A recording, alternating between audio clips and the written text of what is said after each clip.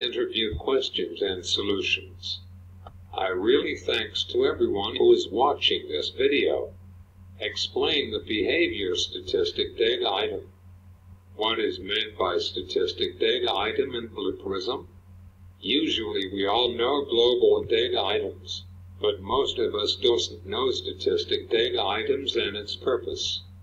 The statistic type of data item is intended to capture some values from your process and to store them within a database table such that they could be analyzed by external reporting tools for management information purposes. Main purpose of statistic data item is to create MI reports. Management information is important for every organization through statistic data let's achieve miles. Therefore, when you create a statistics data item such as this one called test then you will see the result in the statistics pane in an interactive client. The data will be stored in the table called the statistics in your database. Our statistics table is most important table for me related information. How it look like? Test stat. Test stat. When you get the values from the statistics table, it's already involved the field session head, name and data type as well. You can search based on name field in which you assigned name as test stat. Question 2. What are the Blue Prism supported accessibility layers? Test stat. Blue Prism is designed to work with the supporting accessibility layer which is programmed into most modern applications and many legacy applications. Blue Prism currently supports the following accessibility layers. Small bullet.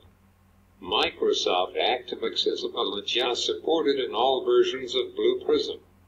Small bullet. Microsoft User Interface Automation is supported in Blue Prism v6.2. Small bullet. Web accessibility feature is in supported browsers ARIA. Current only Internet Explorer is supported for all version of Blue Prism. Small bullet. Java Access Bridge Java exposes the Java Accessibility API to automation software supported in all version of Blue Prism with the correct JAB version for the installed Java software. Small bullet. SAP GUI scripting utilizes the inbuilt SAP VBScript automation features to interact with basic SAP controls. Supported in all Blue Prism versions. Through these accessibility layers, Blue Prism is able to implement a number of spy modes which simplify the process of identifying elements of the visible and sometimes the invisible aspects of the user interface which you are seeking to automate. It is intended to be a point-and-click type of operation to replicate the actions of a user of the application. What are the consideration of Prism execution speed? While developing a Blue Prism process or object, the execution speed is sufficiently fast.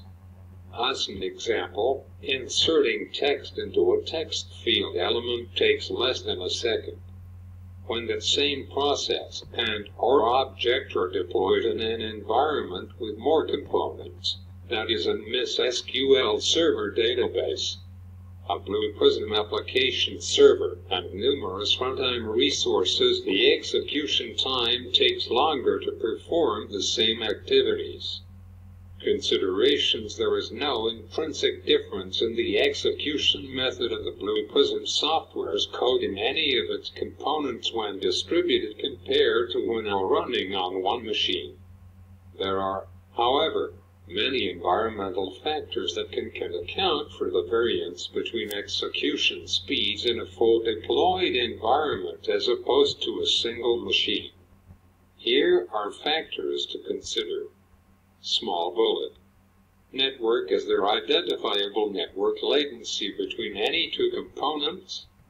Does the network connection between application server and runtime resource have a low latency less than 20 ms and have a low packet loss percentage? To what extent do packets get routed from one machine to another across the network? Fewer hops is often faster. Are the configured ports subject to firewall and router rules? Is there any port scanning software in operation between components? Is there any other software running over the network that takes priority? Small bullet. Architecture To what extent are machine dedicated to specific roles? Does the runtime resources have sufficient memory, CPU power, and disk space to perform their activities efficiently? Are any of the machines virtualized? What is the load on the application server at the time? When the process is active, how many runtime resources are configured to connect to the application server, and how many of them are simultaneously active? Small bullet. Database What is the potential for network latency or restricted bandwidth between the application server and the SQL Server database? Are there any other applications connecting to the same SQL server? Are there any other applications running on the SQL server that could be slowing it down? Is the SQL server running multiple instances on the same server machine? Is the SQL server and operating system versioned up to date? Small bullet runtime resources, what is the potential for network latency or restricted bandwidth between the application server and the runtime resources? Do the runtime resources exclusively run a single process? Or are there multiple processes or sessions running simultaneously on the same resource machine? Are there multiple Windows user sessions running on the same runtime resource? Are there other Windows processes which consume significant CPU, memory, or disk resources running on the runtime resource at the same time as the process is running? Small bullet. Hardware What is the difference in hardware specification between the runtime resource in the standalone environment and the one used in the deployed architecture? Do the machines have different hardware in terms of the type of network card, CPU model or disk speed? Small bullet. Virtualization Do the specifications of the virtual machine match the standalone machine? Can the virtual machine hypervisor host meet the demand? Is there more than one virtual machine running on the machine? When everything is installed on a single physical machine, there is negligible latency between Blue Prism and the other components that it interacts with. In contrast, when a process is running on an environment that uses a distributed architecture comprising a SQL Server database, a Blue Prism application server, several runtime resources, may be using virtual technology and network load balancing, then there is inevitably going to be a delay as there will be latency between these components.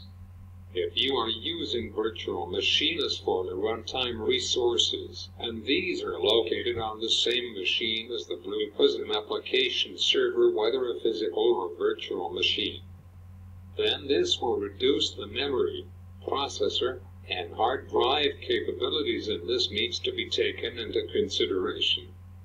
Thanks.